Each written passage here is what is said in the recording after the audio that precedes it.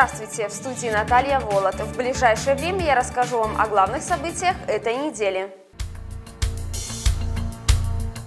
Профессиональный праздник 19 ноября отметили военнослужащие и ветераны ракетных войск и артиллерии. Подробности в нашем следующем сюжете. Ежегодно 19 ноября в Беларуси отмечается День ракетных войск и артиллерии. В это воскресенье в Музее боевой и трудовой славы 29-й танковой дивизии состоялось торжественное мероприятие, приуроченное 75-летию Дня ракетных войск и артиллерии. Участие в торжественном мероприятии приняли ветераны, воины артиллерии, артиллеристы, представители 30-й отдельной железнодорожной бригады, представители Слуцкого военкомата, учащиеся Минского областного кадетского училища, члены Слуцкой районной организации Белорусского союза офицеров имени маршала Жукова. Эта профессия одна из самых героических, самых, э, будем говорить, таких мужественных профессий в вооруженных силах. Поэтому сегодня вот это вот мы тут собрались для того, чтобы поздравить всех артиллеристов всех поколений,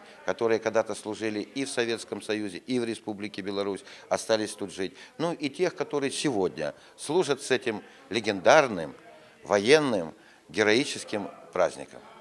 Днем ракетных войск и артиллерии. Организаторами мероприятия выступила Слуцкая районная организация Белорусского союза офицеров имени маршала Жукова. На протяжении уже длительного времени, после того, как сократилась часть эта, вот, мы праздник День ракетных войск и артиллерии отмечаем каждый год вот в этом вот музее когда-то прославленного соединения 29-й танковой дивизии. Анатолий Борисович Попов, заместитель председателя Слуцкой районной организации, вместе с подполковником Сергеем Федоровичем Штыхно, работником Слуцкого района военного комиссариата, вручили в дар музею в лице его директора Анатолия Ивановича Букина макет 152 миллиметровой самоходной гаубицы.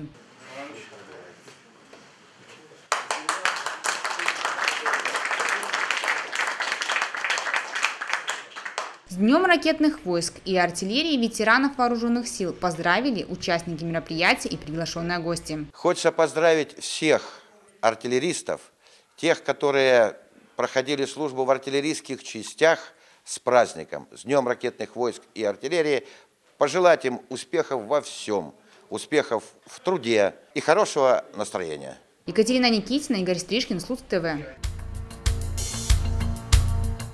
Слуцкий центр туризма отметил свой 30-летний юбилей. В этот день праздничный концерт собрал его работников и учеников, чтобы вспомнить лучшие моменты, смешные истории и набраться положительных эмоций для освоения новых горизонтов. Подробности в следующем сюжете. Бывших туристов не бывает. Тот, кто хоть раз прошел десяток километров с рюкзаками и палатками, навсегда останется верен этому занятию. Именно такие любители путешествий и собрались в средней школе номер 8, чтобы отпраздновать 30-летие Слуцкого центра туризма. Слуцкий центр туризма впервые собрал юных путешественников в январе 1987 года. И с тех пор он с каждым годом принимает в свою дружную семью все больше ребят, чтобы покорять новые вершины и исследовать неизведанные маршруты. Первым директором городской базы юных туристов был Сергей Юрьевич Жартун. И уже через месяц после основания случайно впервые приняли участие в областных соревнованиях по зимнему ориентированию ориентированию, где заняли четвертое место. Но на этом они не остановились, и за следующие 30 лет команда Центра туризма лишь улучшала свои навыки, и ребята все чаще стали подниматься на высшую ступеньку пьедестала. И наш маленький, вот такой живучий плод за прошедшие годы превратился, если не в океанский лайнер, то вполне себе надежный, я бы даже сказал, солидный такой корабль. И, как говорил небезызвестный всем вам капитан Брунгель, как ты назовешь корабль, так и поплывет он. И сегодня мы уверены, что с именем нашего корабля было угадано как оказалось, юбилей в этот день был двойным. Вот уже в течение 15 лет у руля судна стоит один и тот же капитан – Владимир Андреевич Поздерин. Такие знаменательные даты не смогли пропустить ни высокопоставленные гости, ни многочисленные друзья, ни выпускники центра. Поздравления звучали отовсюду, да и подарки преподносили полезные, которые помогут добиться еще больших результатов. В этот день в зале царила дружеская, можно даже сказать семейная атмосфера. Вспоминали прошлое, строили планы на будущее, награждали отличившихся и пели любимые песни. Воспитанники центра также подготовили подарок своим педагогам и зрителям в виде зажигательных песен и танцев, а флешмоб Акуна Матата еще больше сплотил весь зал. Центр туризма очень сильно поменял мою жизнь. Я даже так скажу, жизнь, потому что без центра туризма, наверное, я бы не была сейчас такой, какая я есть, потому что это воспитание какое-то, это очень полезно, помимо того, что как бы ты спортивно развиваешься, ты морально, духовно развиваешься.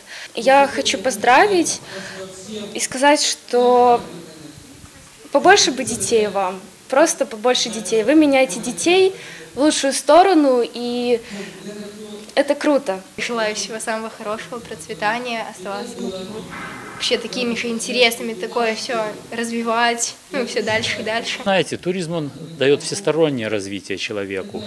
Тут и нагрузки, и когда вроде как бежишь, где-то поднимаешься на гору, и погодные условия различные. Все это, в общем-то, постепенно закаляет человека. Поздравляю всех, кто был, так сказать, в первой упряжке, кто начинал это все, с кого это все начиналось. Ну, мы их всех помним, даже тех, которых нет нынче с нами. Ушли хорошие люди, которые много сделали для центра туризма, для туризма в Слуцком районе, для развития. Всех с праздником, всем удач, успехов и хороших друзей, легких рюкзаков.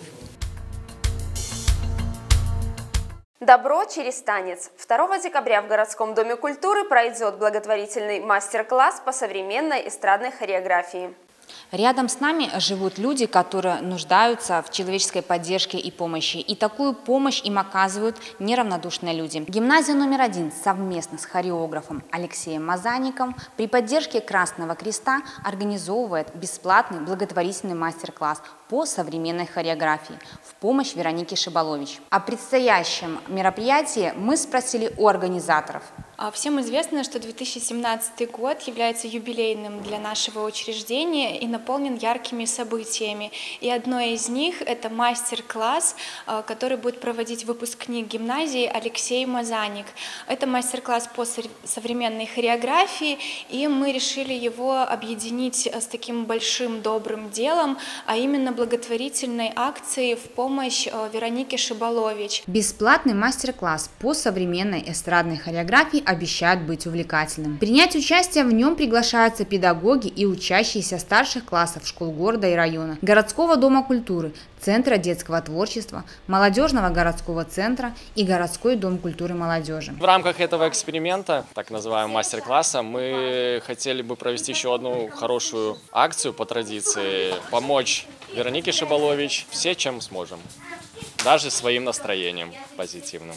Стиль, который мы будем давать, сейчас называется commercial, то есть это то, что можно увидеть чаще всего по телевизору у звезд эстрады, нашей, заграничной. Смесь разных современных стилей. Благотворительный мастер-класс, приуроченный 400-летию старейшей школы Беларуси и благотворительная акция Красного Креста состоится 2 декабря в городском доме культуры. Екатерина Никитина, Игорь Стрижкин, Слуцк ТВ.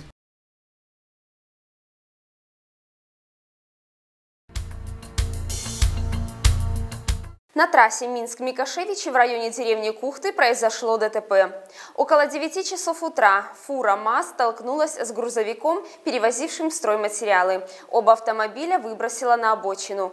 На место ДТП оперативно прибыли сотрудники госавтоинспекции, которые быстро разрешили сложившуюся ситуацию. Заторов на дороге не было.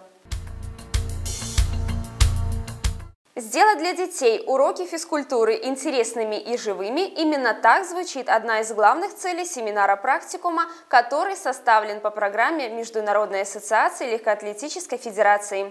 Часовой тренинг для детей прошел во вторник в школе номер 13. Подробности в нашем репортаже. Разминка с бронзовым призером чемпионата Европы в тройном прыжке Алексеем Цапиком. Согласитесь, неплохое начало соревнований, которое мотивировало ребят показать хорошие результаты. Опытный спортсмен признается, в его детстве подобного практически не было, поэтому считает, что такое событие обязательно вдохновит ребят. Меня бы очень сильно мотивировало это на дальнейшем занятии спортом. Нужно вовлекать детей с, э, с раннего детства, со школьных лет в такие вот спортландии. Ребята очень хорошо, очень вовлечены в это. И есть, да, есть некоторые дети очень одородные, и можно из этого брать что-то в будущее. В целом семинар включал в себя две части – Теоретическую. Учителям во время лекции подробно рассказали о перспективной легкоатлетической программе и практическую – показательные соревнования учеников 13-й школы. Проще говоря, развлечения для детей, мастер-класс и ценный опыт для их преподавателей. Как отмечают сами организаторы, важно сделать так, чтобы уроки физкультуры из скучной сдачи нормативов превратились в спортивно-развлекательные состязания.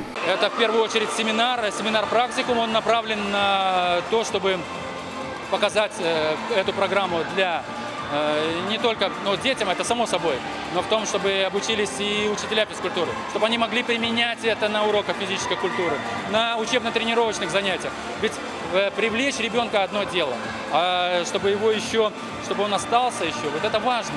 Важно то, что как, как будет себя тренер вести на учебно-тренировочных занятиях. Ведь, понимаете, можно так называемую провести бразильскую систему, Э, то есть ребенка нагрузить на первой тренировке, он больше не придет. А можно показать ему привлекательность того, что это будет сделать. Дети соревновались сразу в нескольких зонах. Метание копья, полоса препятствий, прыжки на скакалке. 60 ребят одновременно справлялись с упражнениями и легко умещались в спортивном зале, не мешая друг другу. Удобная система для преподавателей, увлекательная для маленьких спортсменов. Программа рассчитана для детей 7-12 лет. Это, то бишь, это начальная школа, э, в котором Э, дети могут себя проявить наиболее лучшим способом. То есть мир меняется, мир не стоит на месте. Поэтому э, и нам необходимо менять все подходы и к урокам физической культуры, и к учебно-тренировочным занятиям, для того, чтобы сделать это наиболее интересным и привлекательным для детей. Дети в этом возрасте, в раннем, в раннем школьном возрасте, дети любят играть им скучно бегать с кроссы, им скучно бегать, э, скажем, какие-то короткие дистанции, одиночка. Они хотят работать в команде. И, соответственно, детская легкая атлетика вот, э, предлагает такую форму проведения и соревнований, и также и уроков физической культуры. Для меня вот важная цель, вот понимаете, это когда ученик, э, когда уходит из зала спортивного после урока физической культуры, подходит к учителю и спрашивает, когда следующий урок.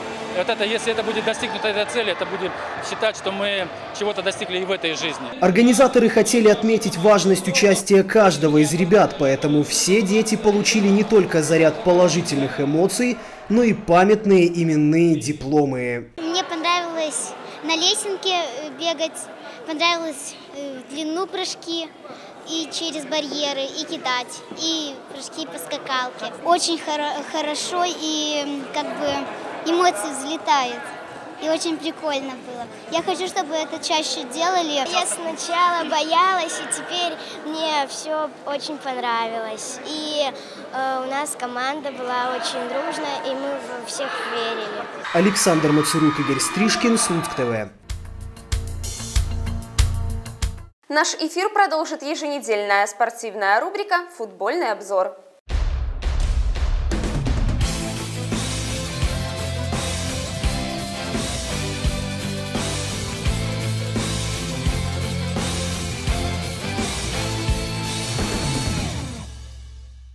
Стадион городской, матч Слуцк-Витебск. Не только последняя домашняя игра для сахарных в этом сезоне, но и противостояние с прямым конкурентом за итоговое седьмое место в таблице. Уже на девятой минуте нападающий Витебска Кирилл Вергейчик открыл счет. Быстрые пропущенные голы – одна из главных проблем Слуцка на финише сезона. Игроки Виталия Павлова пропускали в стартовые 15 минут в трех из пяти последних матчах. Следующие полчаса встречи оказались пустыми на опасные моменты, а уже на 37-й минуте бразилец Лидесма забил второй гол Витеблян и окончательно вогнал публику городского в осеннюю депрессию. Правда, таблеткой от печали для слуцких болельщиков стала ошибка центрального защитника гостей Олега Карамушки, которая в концовке первого тайма вывела Евгения Шикавку один на один с голкипером и подарила Слуцку хотя бы отблеск надежды на ничью. Настораживало только, что по точно такому же сценарию развивались события в недавнем домашнем поединке против Ислачи. Опасения оказались не беспочвенные, история повторилась практически один в один 2-1. Слуцк во втором тайме также пытался отыграться, но вместо этого пропустил третий. Антон Матвеенко отличился на 60-й минуте. Случайно настойчиво напрягали соперника на протяжении оставшегося времени, но это самое напряжение эволюционировало в гол Игоря Бабко лишь на 83-й минуте. Слишком поздно, чтобы вырвать хотя бы одно очко. После того, как сахарники потеряли ненадолго подаренные им 3 балла по делу Веремко и теперь еще проиграли Витебску, они опустились на восьмое место. В верхней части таблицы все еще очень жарко. Впервые в истории чемпионата Беларуси сразу три команды претендуют на первое место перед заключительным туром сезона. Хотя есть один нюанс. В матче с Городей Борисовский Батэ устроит даже ничья, чтобы положить в свой карман 12-е подряд чемпионство в высшей лиге. Также трио команд сразится за четвертую позицию. Еще три клуба определят между собой, кто вместе с Нафтаном начнет следующий сезон в первой лиге. Это все новости на сегодня. Следите за новостями в наших социальных сетях, ВКонтакте и Ютубе. Оставляйте свои комментарии, задавайте вопросы и предлагайте свои интересные темы. Журналисты нашего канала готовы разобраться в вашем вопросе.